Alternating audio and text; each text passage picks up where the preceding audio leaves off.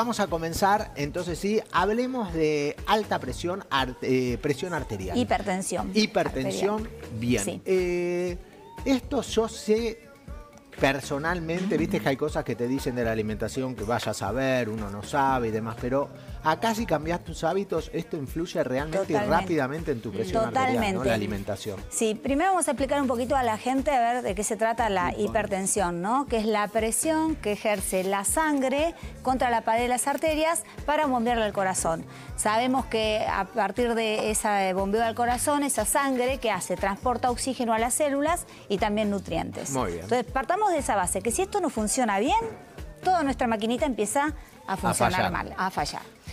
Eh, cuando me preguntan, a- por ejemplo, a ver, hay gente muy joven, Ari, también que tiene hipertensión, y hay gente grande. La gente joven que tiene hipertensión, cuando yo les digo, tienen que cuidarse ya desde jóvenes, ¿por qué? Porque si no, esto hace que como no se transporta el oxígeno a las células normalmente y al cerebro, llegada a cierta edad, tipo 50 años, tienen menor estado cognitivo, menor concentración, ¿sí? O sea, es como que este oxígeno ya no está oxigenando bien las células y con el paso del tiempo se deteriora hasta el estado cognitivo, o sea, las neuronas. Entonces, es necesario saber por qué. Porque uno dice, tengo la presión alta, bueno, tengo el valor alto porque como sal. No, no, empieza y termina todo ahí, ¿sí?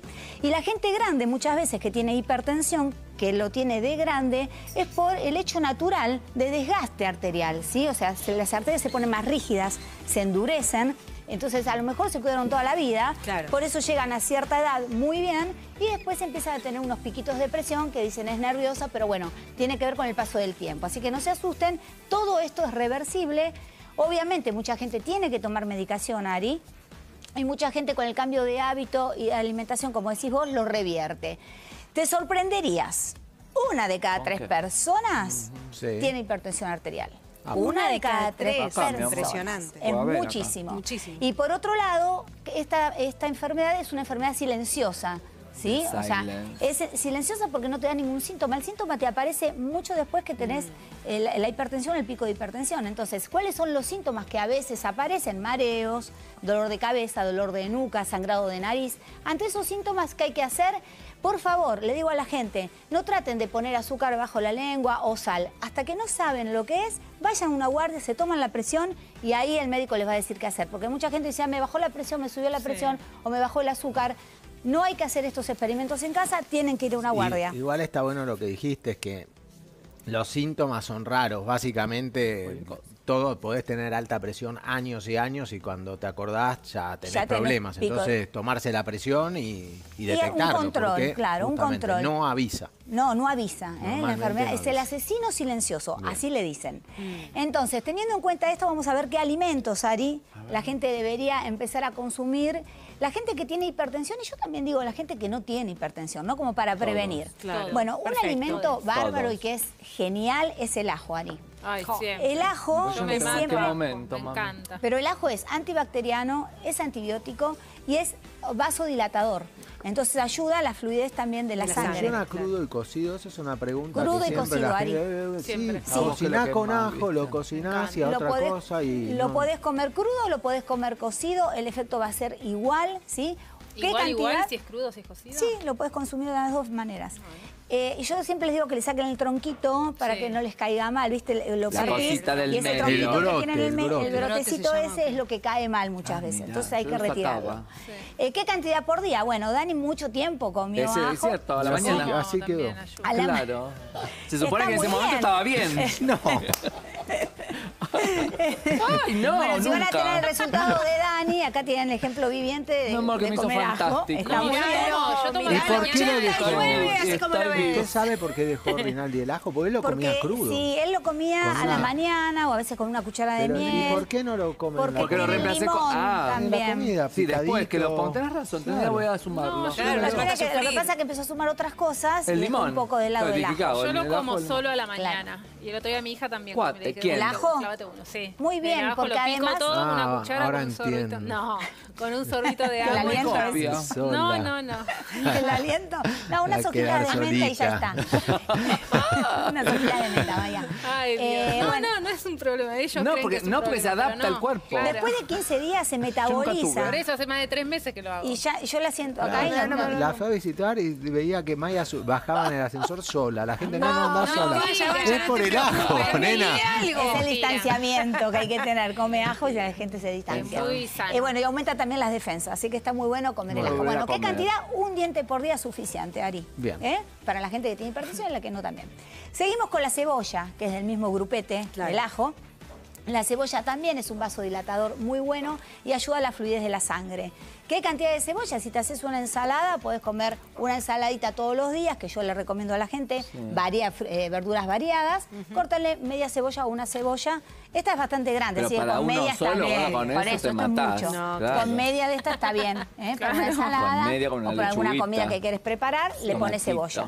Ahí ya tenemos dos ingredientes muy importantes en la mesa diaria para bajar la presión. Quiero decirle también a la gente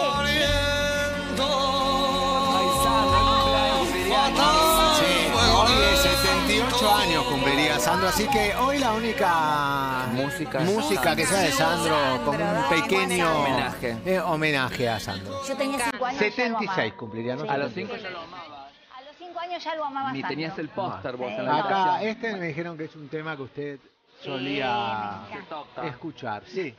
Lo- sí, sí, pero no lo vamos a contar. No. Nos los cuenta a nosotros. Por Sí, favor, sí, sí. en secreto. Yo no cuento Bueno, más dale. Seguimos. Más comida, Eh, es importante Apio. saber, no, es importante saber también eh, qué, a ver, qué valor tenemos que tener de presión. Esto para que la gente tenga un parámetro. 12.8 sería lo normal. Por encima de eso ya tenemos que prestar atención. ¿eh? Y por debajo también. La presión normal es 12.8. 12.8. Alguien se sanó la 12 nariz. es la, la más alta y 8 es la más baja. Bueno, seguimos con el apio, porque si no me van a matar. El apio tiene mucha cantidad Me de encanta, fibra y sí mucha cantidad de agua, ayuda a bajar la presión arterial. Ah, recuerden que todos los alimentos que tienen mucha cantidad de agua en la composición, como algunas frutas y algunas verduras, ayudan ¿por qué? Porque hacemos más pipí y de esa manera también bajamos la presión, ¿sí? Siempre la, la hipertensión tiene que ver con un desequilibrio entre el sodio y los líquidos. Entonces, cuanto más sal como, más retengo líquido. Necesito más de ese líquido que sale de las células para captar ese sodio, ¿sí? Y ahí hacemos el desequilibrio. Entonces, el cuerpo siempre tiende a equilibrarse. Tratemos de comer más natural. Bien. Vamos a seguir por las peras. Las peras que tienen también gran cantidad de agua. ¿Por qué Pueden bueno? comer una pera por día, está buenísimo, es muy rica y no tiene nada de calorías, señora, señor, si quiere bajar de peso. Puede comer pera, Pera. tranquilamente. Hay casi todo el año, además. Claro, a comparación de otras frutas que tienen mucha fructuosa, mucho hidrato de carbono, la pera la verdad que es mucho más saludable para ese momento, ¿no? Buenísimo, de querer bajar de peso. Aceite de oliva, Ari. ¿Por qué traje aceite de oliva? Aceite de oliva es antioxidante y tiene vitamina E. Ah. No tiene directamente que ver con vasodilatador o no. Tiene que ver con la fluidez, o sea, de las grasas buenas, ¿sí? Que incorporamos en el organismo, con la fluidez de nuestras arterias, para que esa sangre fluya normalmente. Entonces, todo lo que es grasa buena nos va a ayudar a que nuestras arterias estén en mejor condición y evitar enfermedades cardiovasculares, accidentes cerebrovasculares, ¿sí? Todo lo que conlleva la hipertensión arterial. Bien. Seguimos. Las legumbres y las nueces y las semillas son un grupete maravilloso donde la gente debería. Ah, quiero decir la cantidad, ahora me acordé. ¿De La cantidad de aceite? por día son dos cucharadas soperas. Estaba escuchando al muchachillo que estaba Dieguito, haciendo Dieguito, la, la dieta. Diego. Gendarme. Bueno, debería consumir dos cucharadas soperas medidas de aceite de oliva por día, ¿eh? si No quiere más. bajar de peso, no más. Pero bueno, para la hipertensión también dos cucharadas soperas de aceite de oliva sería lo ideal por día. ¿Solo así? ¿Me No, para una Ah. ensalada, para una Bueno, preparación, bueno, te hace mal una en si el almuerzo y una en la cena. No, podés comerla este, no, no así, pura. Ah. Bueno, las legumbres. Las Eso, legumbres el aceite, algo que no, no dijimos, por ahí siempre vale la pena. Cuanto más puro, mejor. ah, es esta es extra virgen, perfecto. pe- presión Primera en frío, sobre en todo. frío. La primera vez que se pisan las. Es la mejor las calidad. olivas. Y es la que tiene todos los nutrientes. Claro, todos los Y nutrientes. todo lo que se habla de lo bueno que tiene es ahí. Claro. Porque se- sepamos que después se vuelven a presionar. Sí. Primero presionar sale un jugo, el aceite de oliva, virgen, extra, recién exprimido, Exprimido, digamos, sí. prensado. Sí. Después eso se vuelve a triturar muchísimo y se calienta. Ya y después perdés. se le meten solvente para sacar más todavía. Entonces ahí tenés las calidades. Claro, claro, Claro. Por eso los cuando ven una- un aceite de oliva, claro, el precio también tiene que ver. Claro, claro. Pero bueno, muy, muy importante porque así no perdemos también las Bueno, vitaminas. fíjate que sea vitamina E. virgen, primera presión. Claro. Bueno, seguimos. Eh, estaba con las semillas. Sí. Las semillas tienen gran, gran cantidad de proteína, gran cantidad de minerales, vitaminas y fibra. Todo lo que fibra ayuda a bajar la presión de la sangre. O sea, que todos los alimentos que tienen más cantidad de fibra también hay que llevarlos a la mesa. ¿Qué cantidad por semana, señora, señor? Cuatro a cinco veces por semana. Una taza le doy yo a la gente, una taza peso en cocido de algún tipo de legumbres, ¿sí? Puede ser porotos, puede ser garbanzos, puede ser lentejas, lentejas de distintos ¿Puedo colores. decir algo? Todo Mucha lo que gente. quiera. No, yo te aporto desde después el uso, porque viste que es un lío eh, cocinarlas. Algunos dicen, pero Sí. gasto un montón de gas. Traten de conseguirse pedirle a alguien que por ahí no la usa y demás una olla a presión para las legumbres. Es lo Mira. mejor. Sí, básicamente unos porotos bien hidratados previamente, remojados. Toda la en noche. una olla, toda la noche, cuatro horas, pero Claro. toda la noche No es lo habitual porque te acordás a la noche, los Claro, tirás y lo los sé. metés. Sí. Eh, bien hidratados, en 20 minutos Ah. están Están listos. listos. Los dejaste 40 y son puré. Claro. Entonces, 20 minutos, de 15 a 20, según qué legumbre tengas, están listos. Y después te duran en la heladera 5 días sin problema para Sí. utilizarlos Y al freezer quieras. se pueden poner. Se pueden frizar, esa es una buena. Cuando ¿no? haces la bolsa Sí, de lo garbanzos, las podés agarrar, cocinar y dividir en bolsitas. En bolsitas. Y después del freezer a- las dejás eh, que se vuelvan a temperatura, los salteás, haces lo que querés. Lo comes como querés, en ensaladas, como Pero la olla a presión es algo buenísimo para ese tipo de productos. No, porque la gente piensa que la olla a presión empieza a hervir adentro Sí. con todo y destruye los productos. Sí. No pasa eso. En una olla a presión hay un poquito de agua y hay eh, arriba aire. Pones el producto que va al agua, se sumerge en el agua y como levanta presión, depende de la olla a presión, puede llegar hasta 120 grados, que es mucho. Decía, ah, 20 grados más no es nada, no, el No, agua claro. hierve a 100. Que levante esa temperatura a 120 es mucho y no se mueve el agua. Es al revés de lo que uno piensa que está moviéndose, sacudiéndose. La presión hace que no se mueva, pero que la temperatura entre rápidamente en el producto sin Claro. moverse. Es una especie de poché. Cuando hacemos un pescado, un huevo poché que tiene que estar a 85, Sí. pero acelerado ¡buah! a 120. Así que es 20 un buen dijiste. método si lo saben utilizar. 20. Aproximado, yo lo que digo es, cocina en una tanda, la olla a presión. Un día lo vamos a hacer acá. Sí. La Sí. cocina nunca la abran en caliente porque tiene presión. Claro, al Entonces, sacar- la- si la querés abrir rápido, normalmente se pone al costado, se deja enfriar y después se abre, pero si no la pones bajo el grifo de agua, con agua fría, le tirás por arriba agua fría, que yo baja rápidamente la presión y después la podés abrir y ver- verificar. No están, volvés a cerrar y lo seguís cocinando. Y se me ocurre también que con ese medio de cocción eh, mantenés mucho más los nutrientes también, Es que es muy bueno, está O sea- como mal visto, viste que todo lo que se usaba ah, no, No, porque la textura, bla, la- bla, la bla. Bueno, todo cuando comprendés la técnica y lo usás con, en- entendiendo la técnica, podés cocinar También. cualquier cosa ahí bien, adentro, encanta ahorrando tiempo y sabiendo que no es que destruís productos. No destruís. Sí, para algunos no van a ir delicados, pero para otros yo prefiero gastar 15 minutos co- cocinando unos porotos y así los comes, porque 15 minutos no es tanto tiempo, que estar dos horas a veces pendiente de cuándo están los porotos listos. Claro, y además Claro. cocinarlo tanto, perdés nutrientes en ese líquido de cocción, ¿no? es Dos un horas cocinando un producto es... es un poco eso, ¿no? Lo que bueno, Claro. perdón, por pero me, enca- no, pero me encanta, me encanta la gente de no, de verdad que usa olla de Sí, presión. me perdón que No, interrumpa, te pero estaba- ya, ya estoy interrumpiendo no. porque me dijeron No. interrumpí todo lo a que mí me quieras. encanta escuchar la explicación. La olla de Podemos. Dani. Ah.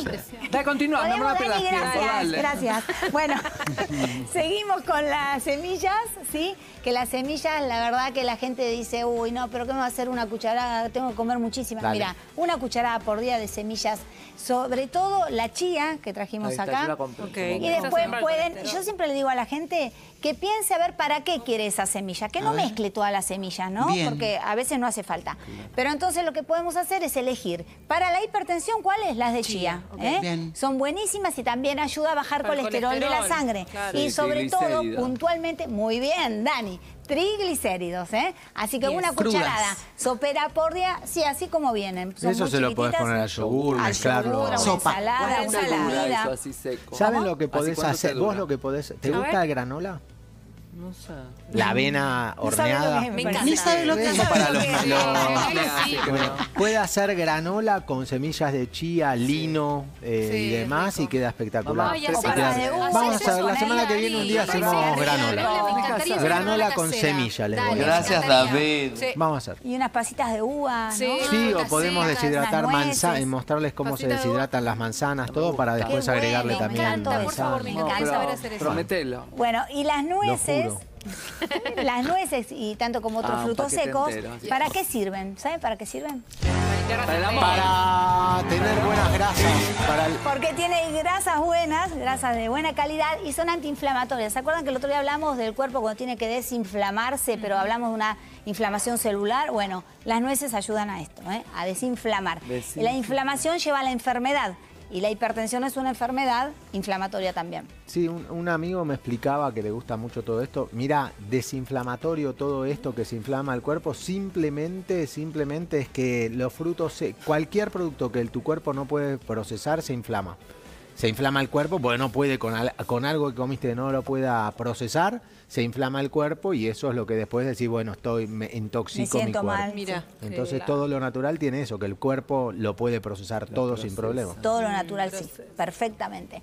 Y una cosa muy hermosa que me trajo mi productora ¿Qué te acá trajo? es ¿No el agua de coco. Ah, deje, la vemos, la vemos. Ahí, el agua de coco, que agua de coco no es lo mismo que leche de coco. ¿eh? No, no, no, es el agua. El Ah. agua de coco hidrata y purifica la sangre. Si la consiguen, Porque seguramente es una rica para tomar. ¿Quiere tomar un vasito ahora? No, ahora no, no. Tomé mucha agua y si no voy a tener que correr al baño. Prefiero Toma. que... No, mi amor, hubieras obviado eso. Bueno, Dale. no importa. Sí. Eh, bueno, eh, ¿algo más quería decir? Preguntarme. No, no sacaste, No, mi Bueno, amor. pero- el agua de ¿Cómo coco, comer el agua de coco? el agua Me gustaría se saber. Es toma. para tomar, es un Eh, Se bebe refresco. como la agüita de coco en Es agua, con- es se cuando compra. cortás el coco, Lo de que- se, com- Ah, se la- la compra agüita- envasada, sí, pero es claro. el agua, no es la, la leche de coco sale de la pulpa. Claro. Eso tiene grasas, igual que la, Claro, tiene la grasas. grasa o la Con- manteca de coco, como le dicen y demás. Sí. Pero eso es el juguito, el, el Buenísimo. agua que tiene el. Entonces esto te hidrata y te purifica. Vienen en cartones también, Sí, creo, la sí, dietética la venden. Sí, Sí, es muy rica, formatos. muy rica. La gente que no quiere tomar tanta cantidad de agua porque no está acostumbrado, no le gusta, puede tomar agua de Ah. Bueno, la semana que viene te propongo un Sí, desafío. conjunto. Dale, Sí, ¿cuál, No, cuál? ella hace licuados, Sí. todo y cocina muy bien purita. Eh, la semana que viene estaría bueno decir qué alimentos si los cocinás no pierden sus propiedades, sus o propiedades. muchas cuando vos las cocinás tienen más propiedades. Y cuáles cuando las cocinás arruinás No, está X propiedades. Está bueno para decirle a la gente porque tiene miedo, no, que si cocino la espinaca, que Pierde si cocino el ajo, como hablamos cocino. hoy. Está Entonces bueno, estaría está bueno Está. Tomo el desafío. Le quiero mandar un beso, ¿puedo a alguien? Sí, a tu Ah, papá. Al negro Montenegro, un beso que nos está mirando. ¿A quién? Al negro Montenegro. ¿Quién es? El papá de Mario. Un beso negro. ¿De quién? De Mario. Montenegro. Ah, Pobre la hija que le bueno, Un tocó. saludo al papá de Mario, ¿Eh? entonces, ¿eh? Muy bien, y muy tengo bien. un pedido para vos de parte de Cacho que quiere que le mandes tortita negra. Cacho, te mando por Purita alguna tortita negra. Saludos a mi El papá papá, de que Purita. te Bueno, hipertenso. bien, bien, bien, bien, bien. utilizado previene Linda con enfermedades, pero bien utilizado Muy no. bien, Al bueno, revés. Rita, muy bien. bien.